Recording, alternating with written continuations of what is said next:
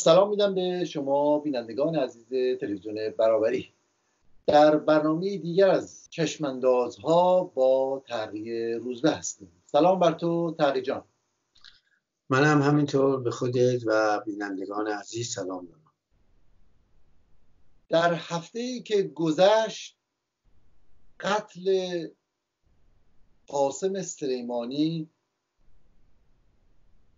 در واقع تمام رویدادهای سیاسی منطقه ما و حتی رسانه های خبری در سراسر جهان رو معطوف به خودش کرد.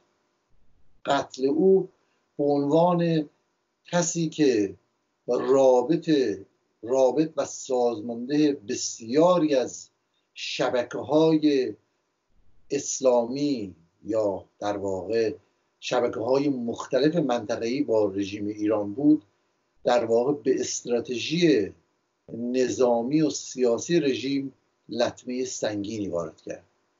دولت آمریکا اون رو به عنوان یک دستاورد در واقع مطرح کرد و رژیم در واقع مرگ این سلیمانی رو به گونه سازمان داد که بتونه در محاصره که توسط جنبش آبان ماه شده بود پرده تازه بیافکنه. ارزیابی شما از قتل قاسم سلیمانی چه هست و فکر می‌کنید چرا ایالات متحده در این شرایط دست به کشتن قاسم سلیمانی زد؟ در حالی که رؤسای پیشین جمهوری آمریکا هم می‌تونستن این اقدام رو قبل از اون انجام بدن ولی در واقع به خاطر عوارض و عواقب اون دست به این کار نزده بودن. خب واقعیت اینه که ترور قاسم سلیمانی یک نقطه جدید و تازه در گسترش بحران بود.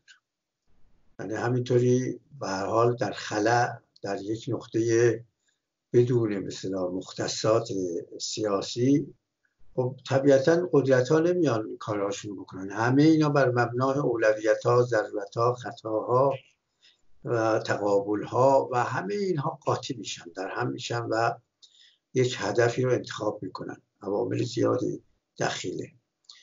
در این مورد فکر می‌کنم در درجه اول انتخاب این ترور که به حال نقطه عطفی بود حتی در سیاست های دولت آمریکا نسبت به ایران چون هر کاغذ خیلی رو تروریست و اینها اعلام کرده بودن ولی دست به عمل نزده بودن به این شکل. اونم در سطوح بالا.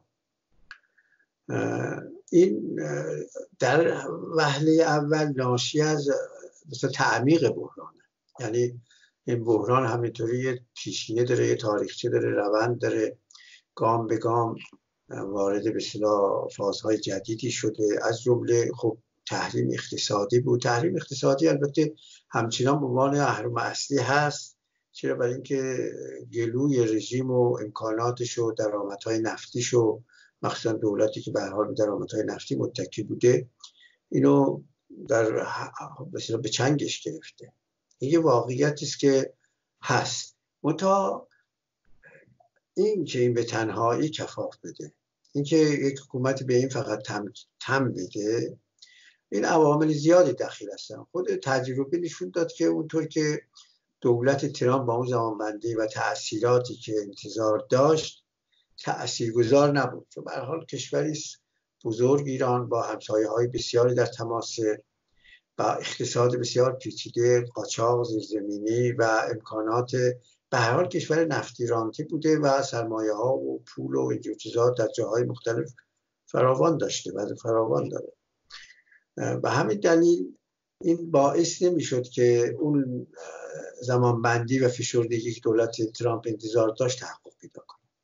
به اضافه اینکه حکومت ایران در این فاصله دست به اقداماتی زد تلافی جویانه و در واقع به شکل به خزنده. حمله به کشتی ها حمله به پهپاد حمله به متحدین آمریکا در منطقه و تهدیداتی از این قبیل. خب طبیعتا اینا در شرایطی که هنوز دولت ترامپ به اون تاکتیک قبلیش فقط منحصرا متکی بود تحریم ها و نمی‌خواست وارد درگیری های نظامی بشه به شکل این در اومد که حکومت اسلامی به حال عمل کرد بدونی که پاسخ مختزی ببینه.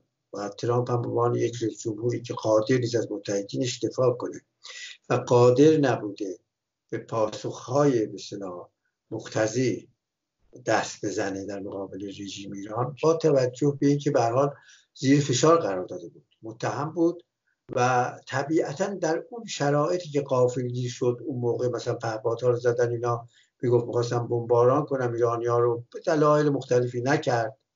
ده دقیقه آخر ازش دست کشید. اینطور که خودش سناریوهای بسیار مربوطه رو مطرح می‌کنه ترامپ. این دیگه نمی‌تونست به عنوان سیاست دائمی باشه. ایران همون سیاستاش ادامه بده. در مقابل اون فشارها به این تحرکات به این تحریکات و عملیات اقدام بکنه ولی پاسخ نگیره. برای قدرتی که به حال منافع جهانی داره منطقه‌ای داره مسئله اتوریته براش بسیار مهم است متحدین همه اینا اسرائیل تو منطقه. خب طبیعتا برای مراحل بعدی فکری می‌کرد و این فکر همین بود که اگر حکومت ایران دست از پا خطا کنه این بار بعد ظرفشست بهش نشون بده قدرت نمایی کنه. حالا این که به طور مشخص خود به قاسم مثل قاسم سلیمانی رو در تیرس قرار بده. خب این فرق می‌کنه. یعنی مستاقش رو باید تعیین می‌کردن. و با توجه به اطلاعاتی که به حال ما نمی‌دونیم حفره های امنیتی هم خب رژیم ایران زیاد داره.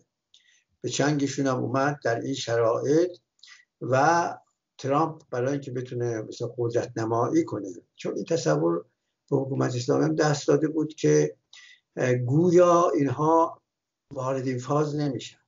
و عملیاتی نمی‌کنن. و این تصور خب در محاسبات خیلی می‌تونه تاثیر بذاره و برای دولت آمریکا و مشاورینش وزیر امور خارجه و وزیر دفاع و غیره و غیره. این مهم بود که اگر طرف این تصور بهش دست داده باشه که آمریکا اقدام نمی‌کنه دست ماجراجویی های خیلی بیشتری می‌زنه. این یه واقعیتی بود که هیچ دیپلماسی هیچ سیاست مداری نمی‌تونه تو این معادله معیوب وارد بشه. حتما یه کاری خواهد کرد. همینطور که حکومت اسلامی هم در چارچوب محاسبات خودش همین فکر رو کرده و می‌کنه. همین الان هم داره می‌کنه. منتها خب برای ابرقدرت ابعاد خود شده به حال دست به این عملی زد که معنای واقعیش در واقع یک نوع اختار و اقدام جنگی و خطر جنگی یعنی اعلام کرد حکومت معناش این بود. این که حالا حوادث بعدی مسیر رو تعیین خواهد کرد این دیگه خودش یک چیزی خارج از اراده وقتی ضربه رو زدی خب طرف مقابل هم به هر حال در تلاش خواهد بود که مقابل مثل بکنه جبران کنه. برای اینکه اون هم متقابلا در یک معادله معیوب قرار می‌گیره ضعف و قدرت و موقعیت رو بستگی داره به توانایی های خودش سعی می‌کنه که معادله رو بالانس بکنه. و حکومت اسلامی هم کرد. منظورم اینه که دولت ترامپ به این دلیل کرد که دیگه شیوه های قبلی و قدر کافی پاسخگو نبودن. در آستانه انتخابات هم هست. مسئله کره شمالی اینها هم به بنبست رسیده. تاثیرات اینها در خود به انتخابات آمریکا شرایط داخل آمریکا خیلی مهمه. ضمن اینکه نسبت به متحدین و منافع عمومی آمریکا مهمه. یعنی ترامپ دو تا هدف اصلی داشت. یکی به نظرم مسئله انتخابات داخلی بود. که نباید عنوان یک رئیس ضعیف ظاهر بشه اونطور که مثل معادلات و مسیر می‌رفت اینو القا می‌کرد. و همینطور مذاکرات با کره شمالی که دیدیم که حتی سورپرایز کرده که هسته مثلا جدید و مراحل جدید و موشک های جدید رو در واقع که نداشته اعلام خواهد کرد که دیدیم که در واقع رئیس جمهور کره شمالی این کار رو می‌کرد کرد. و ترامپ کاملا اونجا دستش بسته به خاطری که طرف مسلح به هسته هسته سلاحهای سنگین موشک های قاره پیما و اینجور چیزها هست. این دو تا با هم خیلی خطرناکه به حال اونجا دست به ماجرات نمی‌تونست بزنه. ولی در مورد ایران می‌تونست این کارو بکنه و کرد و هدف دیگه هم این بود که همون ایران از این تصور خارج کنه که گویا آمریکا در واقع فقط اقتصادی وارد عملیات نمیشه ترامپ اهل این کارا نیست. و این توهم رو در واقع به پایان برسون خب از در دیگه خب مسئله استیزاع ترامپ توی کنگرم مطرح و موقعیتی که داره و طبعا مسئله قتل سلیمانی می‌تونست کلا روند استیزا رو به جاهای دیگری بکشونه تا حد زیادی. و در واقع به عنوان یک رئیس جمهور پرقدرتی که می‌تونه علیه به اصطلاح تروریسم اسلامی و خصوصا یکی از بزرگترین دشمنان منطقه‌ای آمریکا یعنی جمهوری اسلامی بتونه عمل کنه با قدرت در واقع خودشون نشون داد. یعنی اون بی در واقع بیعملی شد در مقابل پامپادا و خصوصا عملیات آرامکو در واقع اینجا به گونه تا حد زیادی جبران کرد با زدن مرد شماره دوی حداقل نظام. تاثیر این در واقع قتل سلیمانی توی سیاست خاورمیانه رژیم جمهوری اسلامی چه خواهد بود؟ خب حکومت اسلامی وقتی یک نوع اعلام جنگ شد طبیعتا راه های به مستقیم درگیری در برابرش اکمالات انتظاری وجود داشت. ولی در این جنگ نابرابر خب بازنده ایران به هیچ وجه قصد این که وارد یک جنگ بزرگ با ابرقدرت مثل آمریکا با نیروی دریایی عظیم هواپیماهای سنگین.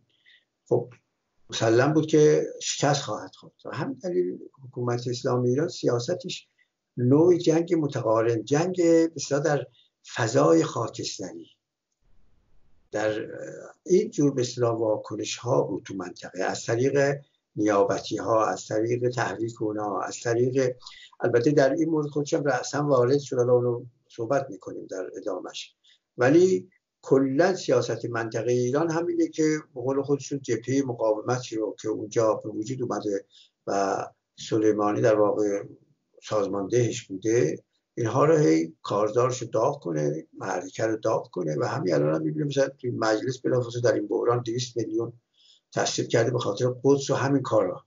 یعنی ادامه ماجراجویی حالا تصمیمش رو گرفته. ببین اینجا حکومت اسلامی نهایتا این رو ارتقا داده به یه شعاری که الان خامنه‌ای هم دوباره گفت قبلش هم گفته بودن خروج آمریکا از منطقه. یعنی ما اینقدر فشار میاریم با آمریکا تو منطقه که چون آمریکا از سوریه هم رفت مشکلات داره اونجا بحران های زیادی داره. ترامپ شعارش این بوده که ما اینجا نمی‌خوایم به مقاومت کنیم ایستادگی کنیم. مثلا هزینه های خیلی زیادی شده برای ما صرف نداشته و اینا. انتقاد به رؤسای جمهور قبلی و اینا. این حرفا رو خیلی زده بود دیگه. ولی خب اینا به معنی نیست که ابر قدرت منطقه رو ترک کنه و منافعش رو واگذار کنه که. ولی خب این دعواهای بحث ها بوده و نوع مثل حضورش بحثه. اون در گذشته دیگه فکر می‌کرده اون به شکلش مناسب نیست ضرر رو زیان داره. آمریکا باید تقبل کنه از اینها رو. تلفات و خیلی داره. خب جنگ عراق هست جنگ افغانستان هست. هنوز هم ببینیم که عواقبش هست که درگیر هستن. جاهای دیگه هم همینطور. و همین دلیل اینها این فضایی که آمریکا داشت از منطقه در واقع خودش رو سبک کنه مقدار سیاستاش عوض بکنه. به این تعبیر کرده که آمریکا گویا منطقه رو اصلا می‌خواد ول کنه. بعد اینها هم حضور آمریکا رو به صلاح باید هدف گرفت و در تیررس قرار داد. همین دلیل ما می‌بینیم که در عراق و اینها با نیروهای خودشون با شرایطی که به حال آفریدن و ایجاد کردن تلاش که آمریکا رو از منطقه بیرون کنه. خود خامنه‌ای هم در سخنان اخیرش که حالا بازم بحث ما نیست. اینو یکی از نکات مهم این بود که بعد این عملیات انتخابی اینا کافی نیست. بعد اون تحقق پیدا بکنه. و از اونجایی که در عراق این تصویب شده به لحاظ البته جنبه اجرایی الزامی نداره ولی در پارلمان عراق تصویب شده و خب خود نخست وزیر هم اونجا بوده و حامی همین سیاست بوده. خب اینا فکر می‌کنن که این یک گام به جلو رفته و می‌تونن اینو پیش برن. و سعی می‌کنن که زیر فشار قرار بدن و به همین دلیل از طریق نیروهای نیابتیشون پایگاه های آمریکا رو نیروهای آمریکا رو منطقه سبز و سفارت و خب معلومه که اون ماجرای سفارتی که اتفاق افتاد برای آمریکا یادآور اون حقارت چه سال پیش بود. اون سفارت. در واقع اون عقده تاریخی که وجود داشت و همیشه به اونا حمله می‌کرد این در واقع گرش باز شد. و ایران در واقع یک جوری و حامیان ایران در اونجا فقط هم ایران نبود یک گرایش های در درون دولت عراق و کشور عراق هم وجود داره که خب اینا وابسته هستند. همین خط و خطوط ادامه میدن. اونها هم حمله کردن به سفارت و بعد دولت آمریکا ترامپ دید که داره همون ماجرا اتفاق بیفته اگر قدرت نمایی نکنه. و همون دلیل دست پیش برد و خود در قاسم سلیمانی رو هدف قرار داد و ایران منتها خب این سیاستاش با مشکل بنبست مواجه شده. ولی با وجود این همچنان ما شاهد این هستیم که این که آمریکا باید منطقه رو ترک کنه سیاستاشه ولی این سیاست ها اون چیزی که ما داریم می‌بینیم تو منطقه مثلا خلیج فارس کشورهای مثل اطراف خودمون مناطق اطراف خودمون ببینیم که میلیتاریزه شدن بیشتر منطقه است. نتیجهش آره هم میلیتاریزه شدن در واقع سیا... یعنی سیاست در واقع تشریع درگیری با خود آمریکا و دولت ترامپ چند تا چیز داشت. یکی همین که در واقع تحریم ها قوای اقتصادی رژیم ایران رو به شدت محدود کرد چنان محدود کرده که قادر به کمک های میلیاردی و اینا دیگه به اون جنبش های به اسلام مثل حزب الله و کتاب و جریانات اسلامی توی منطقه نیست. از او بر در واقع با کشتن سلیمانی یکی از اصلی ترین رابطه های هژمونی که جمهوری اسلامی با این گروه ها از بین میره تا حد از بین رفته و در واقع تا جانشینی بتونه در واقع این نقش محوری رو بازی کنه قطعا زمان خواهد بود. تو این رابطه احتمالا خب همین شما شاهد در واقع خبرها هستید که در واقع با عملیات به اصطلاح قاسم استلیمانی دیشب موشکهایی رو به در واقع محل استقرار نیروهای آمریکایی در عین الاسد در استان انوار زدن انوار زدن و توی اربیل. موشکهایی رو زدن هرچند از در واقع تلفات و اینها تا الان خبری منتشر نشده. یعنی نه نیروهای بین به اصطلاح نیروهای اروپایی و عضو ناتو استرالیایی ها آلمانی ها و در واقع انگلیسی ها و نه آمریکایی ها تا الان معلوم نیست که کسی احتمالا کشته نشده. ولی در هر حال خود این موشک پراکنی در واقع تا حدی میشه گفت یک پاسخی بود به در واقع سیاست انتقامی که توسط رژیم بعد از مرگ قاسم سلیمانی مطرح بود. ارزیابی شما از این نوع پاسخ چه است؟ بله بعد از اینکه آمریکا زد اینو ترور کرد خب حکومت اسلامی ایران خیلی شوکه شد. یعنی خود اینم قافلگی شدن این حرکت و اونم اصلا با مسافربری و اینها داشتی می‌رفته. معلوم شد که از اصلا اون تدابیر لازم و امنیتی رو برای حفظ رو مثلا نداشتن. اینقدر خوشبین بودن. حالا ادعای خودشون هم همینه.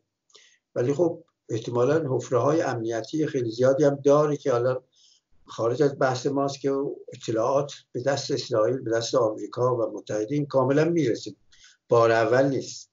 بارهاست در این مورد هم خب رسیده الان تو عراق می‌گفتن دو نفر از اون مهماندارا رو دستگیر کردن. دارن بازجویی می‌کنن و ببینن سرنخ چه هست بله یعنی به حال دنبالش هستن که ببینن کسی از کجا این ماجرا اتفاق افتاده.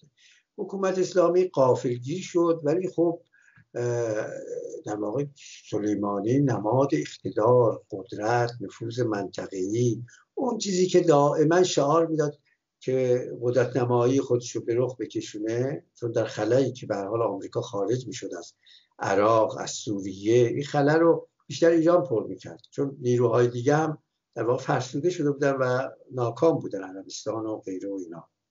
نیروی بلفل که وجود داشت نیروهایی که سازمان یافته بودن تدارک یافته بودن و همون شیعیان و مخالفین به اصطلاح نظام های حاکم ایران اینا رو بسیج کرده بود سازمان از سالها قبل. اینا آماده بودن از وضعیت استفاده کنن و همین دلیل دست برتر رو داشتن. در شرایط خلع و بحران تو منطقه و خروج.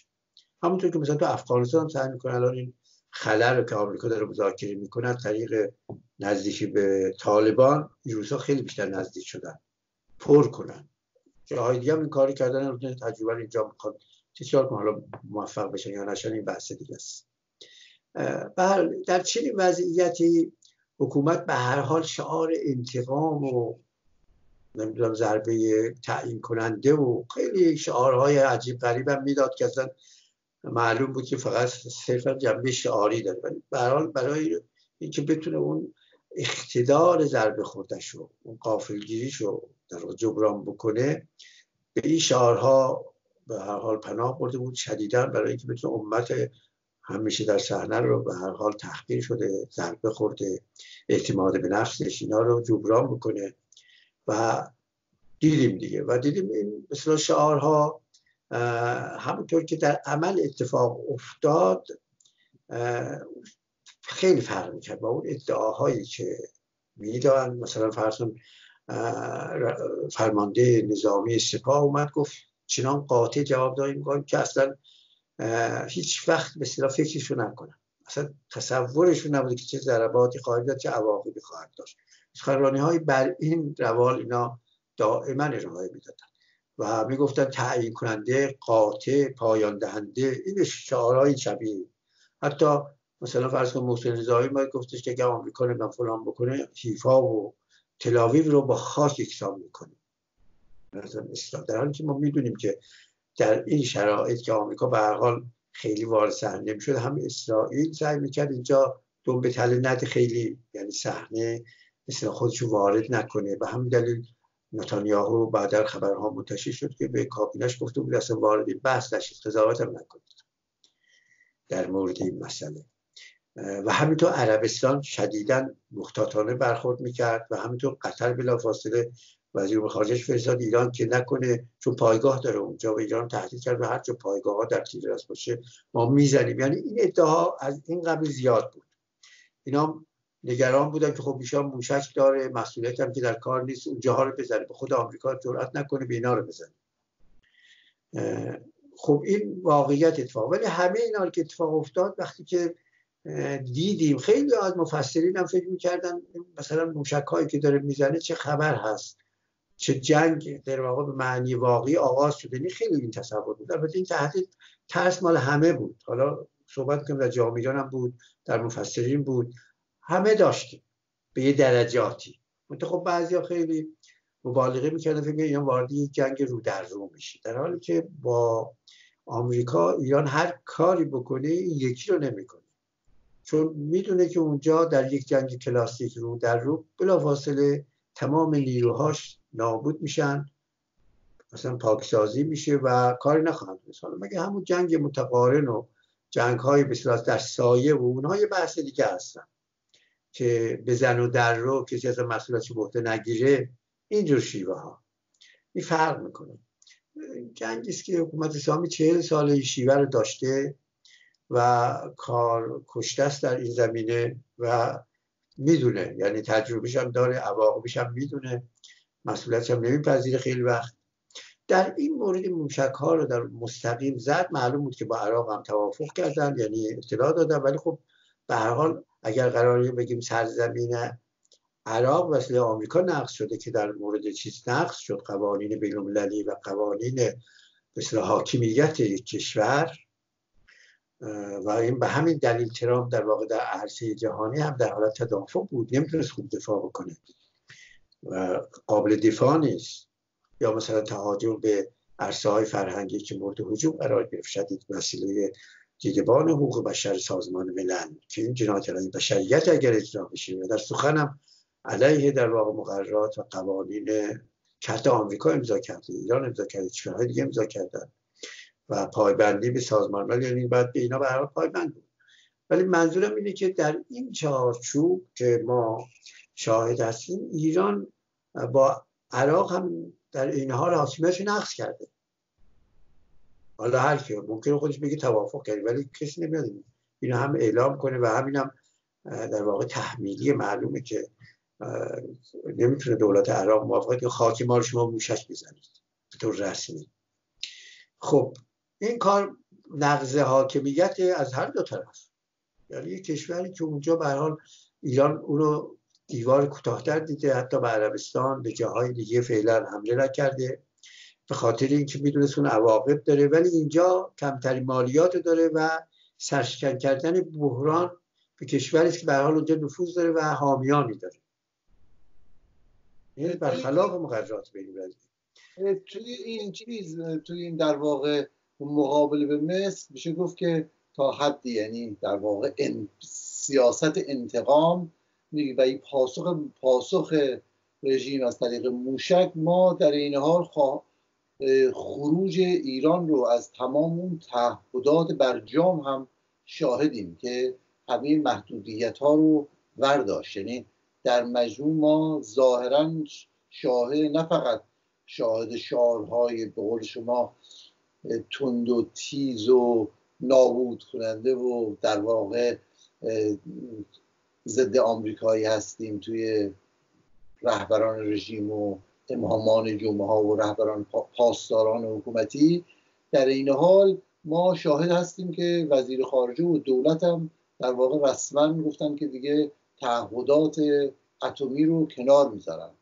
و ما اینجا در این موقعیت فکر می‌کنید که موقعیت چه خواهد شد؟ یعنی هم تشدید اوضاع در واقع نظامی و درگیری های محدود توی منطقه و از او خارج شدن ایران از تعهداتش در ارتباط با چیزهای اتمی که می‌تونه در واقع اون ماشه رو در واقع برگردونن دیگه ماشه تحریم ها رو بکشن.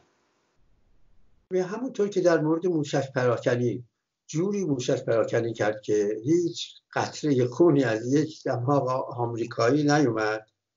و تمام جاها فلان می‌بینیم که هیچ حادثه هیچ خبری نیست. همونطور که تو گزارش شما هم بود. این معنا داشت و آمریکا از قبل سی شیش ساعت می‌دونست که ایران حمله می‌کنه به هر دلیل از منابع خودش اعلام کرده بود. و کشورهای دیگه هم همینطوری فضا رو آسمان و پروازهاشون همه اینا رو یک جوری به اصطلاح تنظیم کرده که حادثه اتفاق نیفته یعنی ایران عملا در واقع یک نوع تخلیه انفجاری که حالا ما خواهیم دید که تو بحث‌های بعدی که کاربرد اصلیش تو داخل ایران.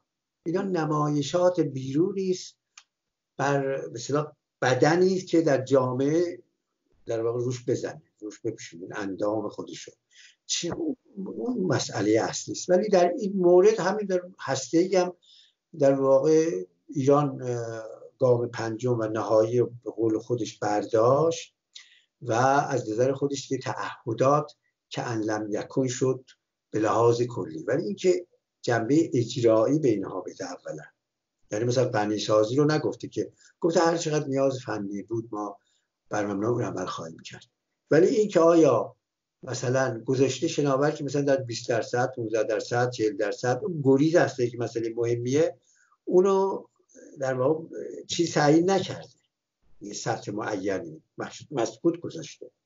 این, این هم یعنی در مورد موشکان کار کرده در مورد این کار کرده که اینو تبدیل کنه به ابزار قدرت کلا چانه که یعنی حکومت اسلامی مهمترین مسئلهش این بوده که بتونه قدرت چانه زنی به بیاره در یک موقعیت بهتری از این زیر فشارهایی که کمرش خم شده چون محاصره شده در انبوهی از بحران راه فرار فی الواقع نداره. کوچه بنبست است که توش مانور میده. و البته این ترور خیلی کمک کرده که بتونه یه فضای بیشتری به دست بیاره که اون جداگانه صحبت می‌کنیم.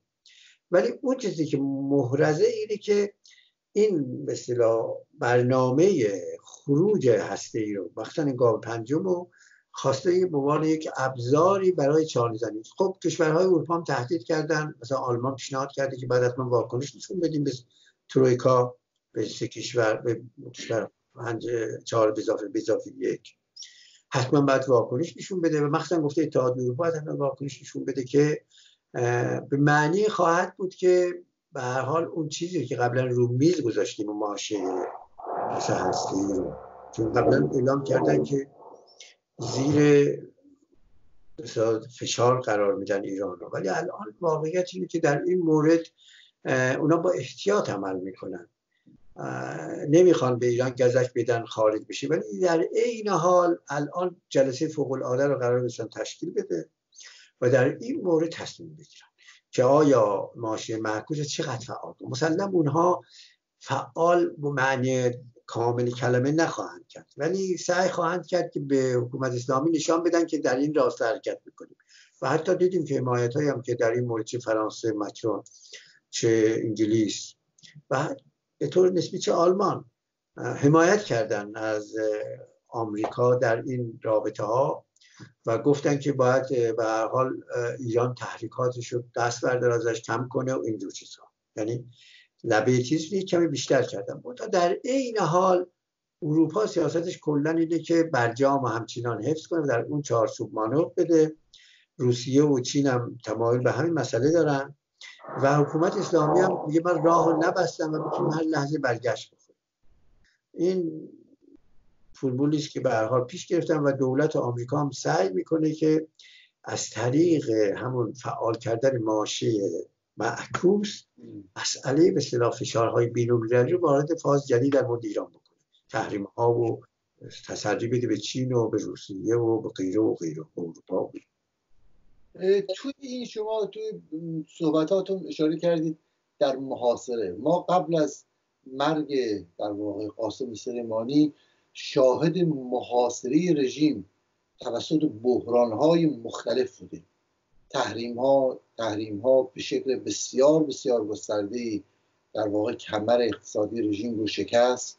بودجه در واقع بدون پول و بدون امکانات ارائه شد. در واقع تمام صندوق ذخیره در حال تخلیه شدن بود. موقعیت تظاهرات های گسترده در صدها شهر ایران میلیون ها نفر رو به خیابون کشون 1500 نفر بنا به آمارهایی کشته شدن و اعتراضات به گونه‌ای بود که در واقع هیچ کس دیگه نمی‌تونست بره پشت دولت و یک واقعا شرما شرم بزرگ بود که کسی از سیاست حکومتی حتی دفاع کنه. حتی در واقع نرمترین مدافعان حکومت هم شروع کرده بودن به انتقادات. و ما شاهد تشدید یک سری تضادها در درون حکومت بودیم و تنفر عمومی از دولتی که گرسنگان رو در واقع در خیابان شکار کرد با اندازها و اوباشانی که در واقع بودند و خشونت وحشتناکی که در بسیاری از شهرها انجام شد. آمارها همچنان در واقع آمار کشتگان همچنان در واقع نامشخص همچنان دلایل و چگونگی کشتارها ارائه نشده همچنان حکومت امتناع می‌کنه از در واقع روشن شدن وضعیت دستگیر شدگان و بازداشت شدگانی که به هزاران نفر و گویا به ده هزار نفر می‌رسه و در مجموع ما شاهد یک موقعیت ویژه بودیم که همه از در واقع سرنگونی رژیم اسلامی توی این جنبش آبان ماهی که ادامه داشت صحبت می‌کردن. مرگ یا کشتن قاسم سلطان سلیمانی در واقع یک هدیه آسمانی آقای ترامپ بود به جمهوری اسلامی که فضا رو تا حد زیادی بشکنه. تمام اخباری که توی همه رسانه های جهان رسانه های در واقع جریان داشت درباره جنبش آبان و کشته شدگان و قربانیان اون بود و موقعیتی که رژیم داشت. بعد از او ما شاهد در واقع تشییع جنازه زنجیروار تهران مشهد تهران قم کرمان و در واقع بسیج بزرگ حکومت اسلامی توی ایران هستیم که بتونه هم جنبش رو به عقب برونه جنبش اعتراضی رو و هم به اصطلاح از خون سردار اسلام بتونه برای تقویت دستگاه نظامی و حکومتی بتونه استفاده بکنه. ارزیابیتون از این قضیه چیه و چقدر فکر می‌کنید تونسته این جنبش رو به عقب برونه؟ هرچند می‌دونیم که شلاق بیکاری و گرسنگی و خواست نان آزادی نمی‌تونه انقدر زخمش در واقع عمیقه که با پادزهرهای تظاهراتهای و های نمایشی عذا نمی‌تونه برای مدتی خودش رو به قول معروف وقتی بمونه.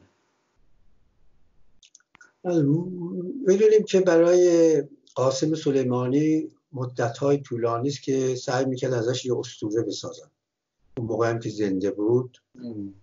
یعنی برنامه های زیاد داشتم و این شخصیت این کاراش که به حال این حکومت اسلامی در این عرصه روش سرمایه گذاری کرده بود و با توجه به اینکه به هر حال پیوند خورده بود مثلا وجود این با نفوذ منطقه ایران با اقتدارگرایی تو منطقه. نوعی به اصطلاح ناسیونالیزمی که بعضی ها تو جامعه داشتن قلقلش می‌داد. از به ایران تا دریای مدیترانه که هیچ وقت دسترسی نداشته جز ایران باستان. یه چیزی رویا سازی ها و شباهت سازی ها و قرین سازی های تاریخی و همینطور به هر حال به عنوان کسی که می‌تونه به آمریکا ضربه بزنه ضربه زده فلان زده اصلا مثل کسی. حتی خودشون ادعای چگوارا و فلان اینا تو این آره در واقع برچسب ها هم بچسبونم این یه واقعیتی است که داشته خب این هم یک فردی بوده که هم سازمانده بوده هم به هر حال به لحاظ شخصیتی جوری بوده که فراحزبی عمل می‌کرده. و خب صبح در ولایت بوده ولی در عین حال با دیگر جناها هم رابطه حسنه داشته. اینطوری نبوده که فقط در سبد یک جناح به لحاظ رفتاری. ولی در سیاست گفتم زوب ولایت فقیه بوده و از اونجا فرم دستور میده حتی خامنه‌ای در خنانش گفته که امام خمینی رو خیلی قبول داشت. حالا نخواسته بگه یعنی منظورش خودش بوده. تا تحت عنوان امام خمینی فلان که ازن خیلی چیز داشت اینا ارادتش فلان اینا اونو بگه. و همین دلیل و تاکید می‌کنه که مثلا معیار آدم ها کیه؟ یعنی خودش منظورشه ولی میگه که این به اون داشت و اون یه معیار میاره که باید داشت. سلیمانی رو داشت. این کاراکترش اینطوری بوده. بعد در حالی که مثلا همه اینا بخش زیادی افسانه سراییه افسانه بافی بوده. چون مثلا همون موقع که به داعش سوریه اصلا اینا با داعش خیلی واقعا درگیر نبودن. با نیروهای دیگه درگیر بودن که از غذا برای بشار اسد حذف اونا مهم بود. تو مناطق اشغالی و پیشروی و حساب کتابایی که داشتن. خب در عراق فرق می‌کنه عراق وسیله وقتی محاصره شد یعنی مثلا خلافت تشکیل شد پیشروی کرد متحد ایران ایران خیلی براش مهم بود. در کنار اونا با اون جنگید ولی دقیقا با هدف نجات او. یعنی دولت عراق که به هر حال اونجا دیده بودیم که اون داعش پایتختش و خلافتش رو شکل داد. اینا کارکردشون این بوده. ولی خب فضایی که می ساختن که اگر اونور مرز نمی جنگید الان مثلا فرض کن ناطق نوری حالا دوباره زبون در آورده که اصلا معلوم نیست خودش تو سایه بوده سکوت بوده معترض بوده چی بوده. سالها که اگر این نبود الان در تهران گردن می‌زدن یا سر میبریدن. داعشی. الان نمی‌برن. نه اصلا در تهرانی که این همه نیرو از مردم هستن تو ما از کجا میگی مثلا اگر یک نفر نبود سلیمانی یعنی خودشون هم مثلا عجز خودشون نشون میدن. یعنی اینقدر مثلا یک سیستم میشه یک فرد در مبالغه است دیگه واقعیت که نیست. می‌خوان اسطوره سازی بکنن. حالا اسطوره زندگیش یک مسئله است اسطوره سازی پس از مرگ یک مسئله دیگه است. در اسطوره زندگی خیلی نمی‌تونستن بزرگش کنن چون هر لحظه ممکنه یه احمدی نژادی بیاد بیرون ازش. مثال هیچ وقت رهبری اجازه نمیده آدم به زنده. جالب اینه که مثل خامنه در این سخنرانی گفته من در گذشته قلبا و زبانا ارادت داشتم و تسلیم داشتم. ولی حالا تعظیم می‌کنم به ایشون. ولی چه موقع تعظیم می‌کنه؟ بعد از مرگ. بله. دیگه زنده نیست. یعنی اینها از اسطوره هایی که می‌سازن قول بر اسطوره سازی بر ساخته هایی هستن در خدمت قدرت.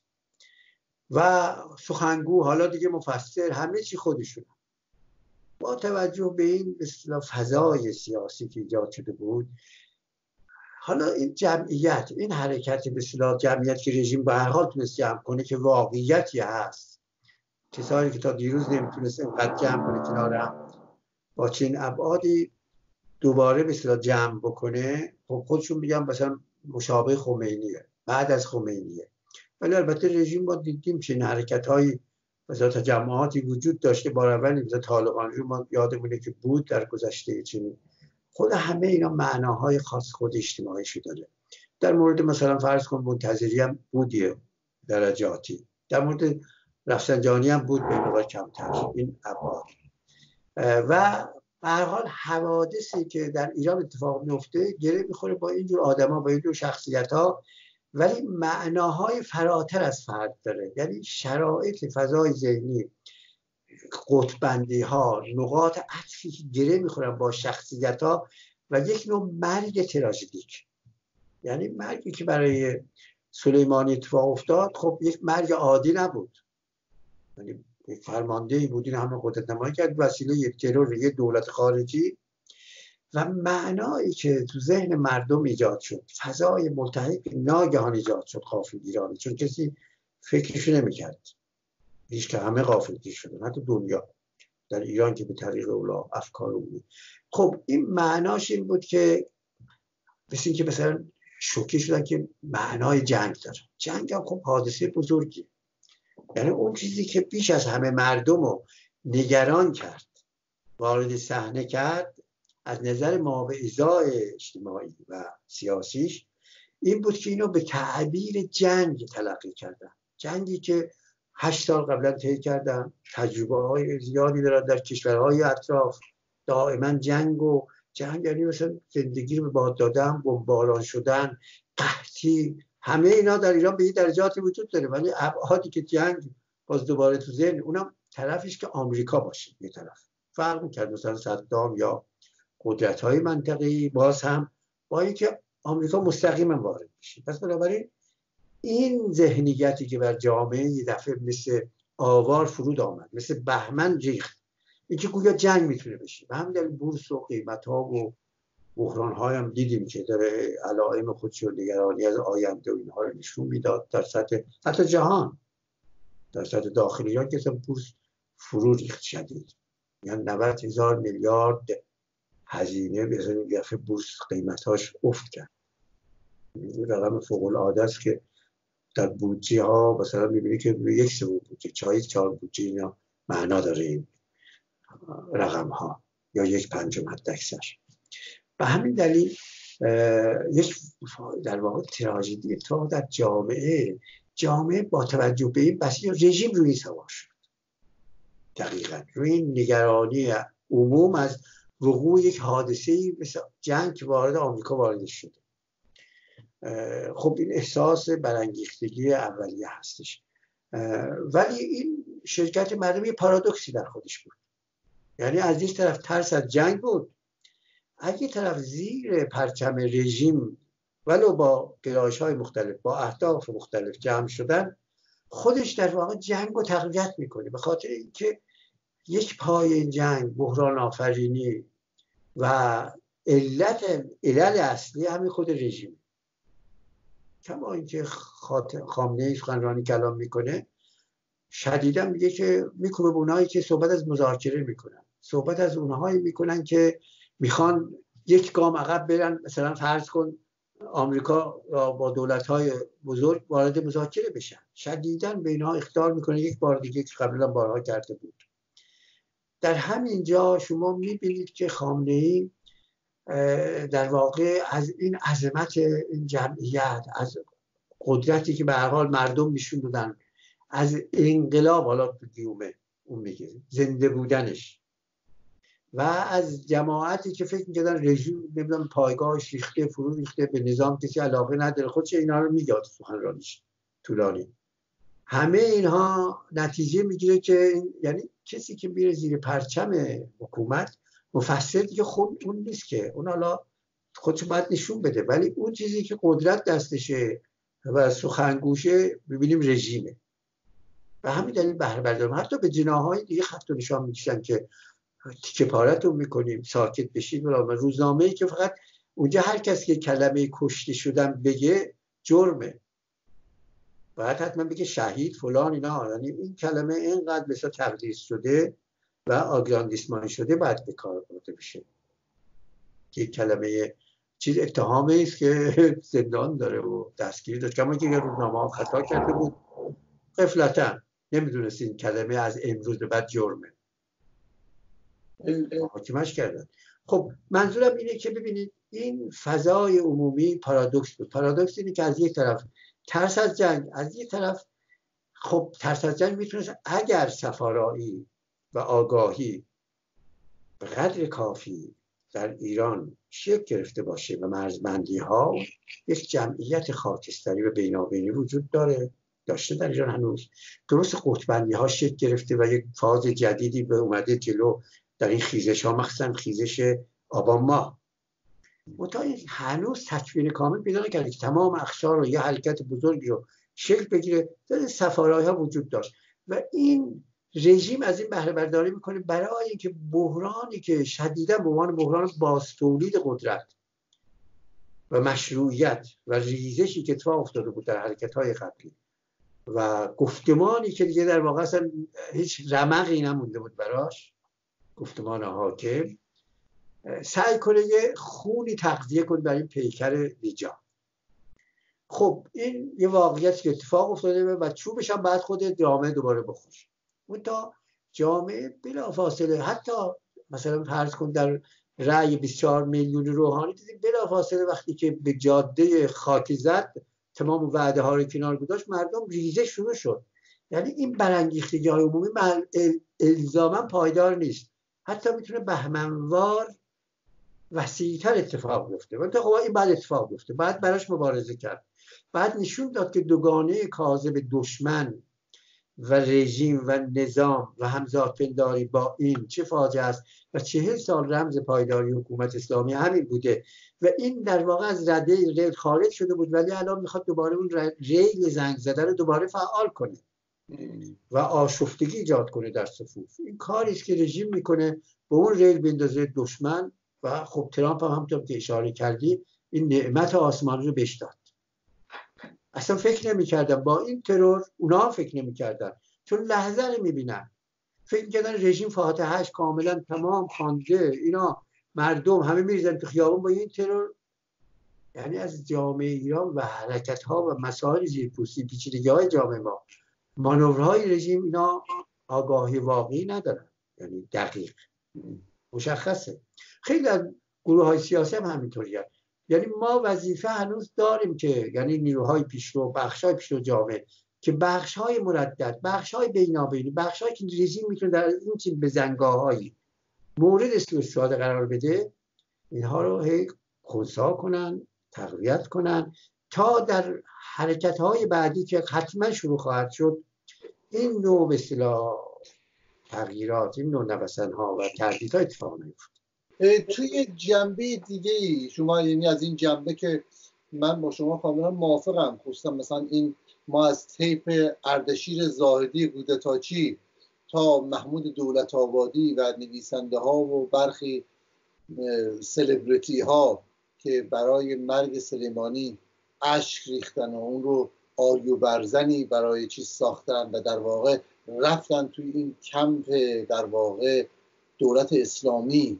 تا حد زیادی که بتونن از این, ش... این شکاف ها رو پر کنن با در واقع این یاوهگویی ها از اون بر یک چیز دیگری هم تا حد زیادی این اقدام ترامپ ثابت کرد که در واقع اونایی که خصوصا ترامپیست شدن و فکر می‌کردن که مسئله ادامه در واقع تشدید این تحریم ها که ازش استقبال کردن مثل رضا پهلوی و در واقع به برخی مثل مجاهدین و در واقع فرقه رجبی که خواهان حتی حمله در کنار بود جان بولتان ها اونا در واقع این اقدام نشون داد که چقدر می‌تونه این اقدامات نظامی ایالات متحده یا دخالت های خارجی جنبش اجتماعی و دموکراسی خواهی و ترقی خواهی توی کشور ما رو در واقع به عقب برونه.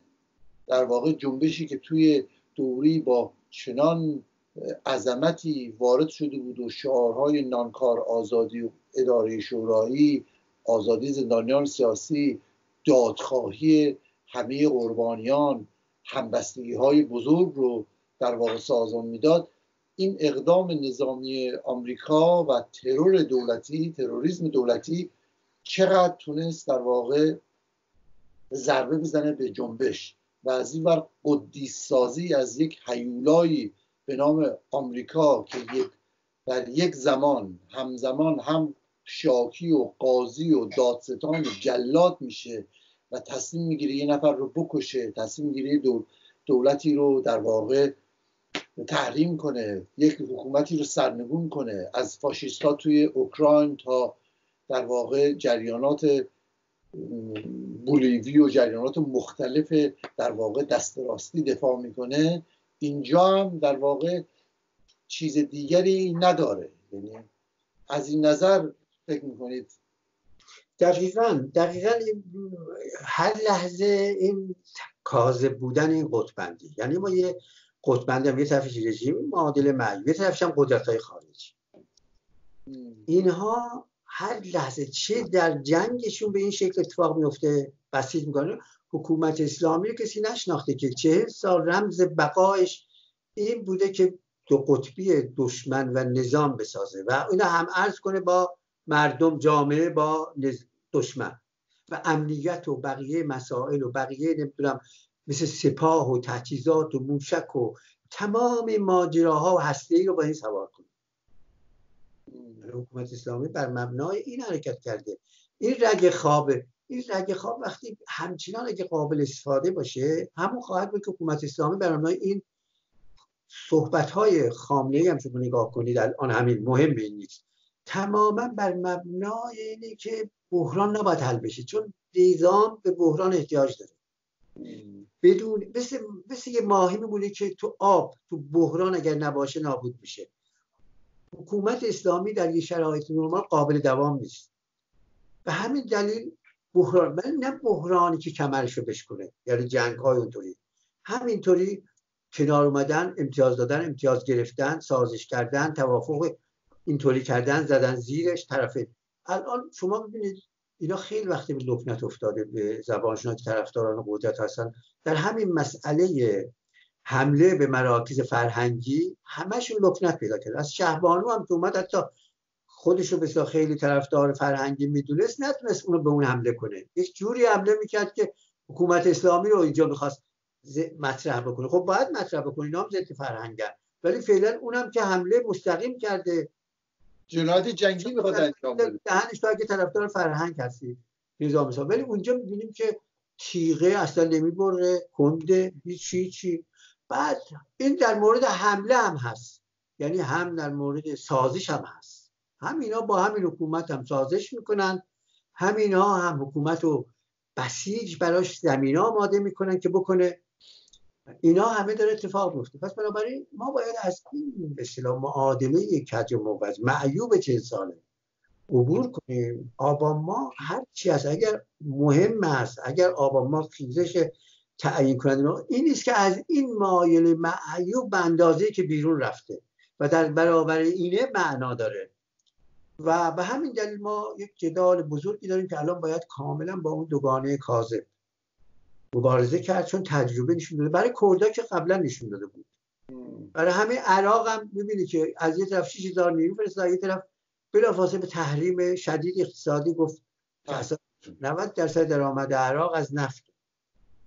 که می‌دونه چگونه بسازه ببین همه جای خودش نشون میده. کردای قبلی اقلیم کردستان هم که قبلا نشون داد. همه جا شما اینو می‌بینید. حتی در مورد اردوغان هم نشون می‌داد. موقعی که به حال تحریم کرد پولش افت کرد. یعنی می‌خوام بگم که اینها این مناسبات خیلی رابطه روشن صد درصد تا اونهایی که به اونها دخیل بستن خب طبعا وقتی امیدشون پایگاهی تو جامعه ندارن. با اهداف مردم همسو نیستن باید به همین قدرت ها متوسل بشن.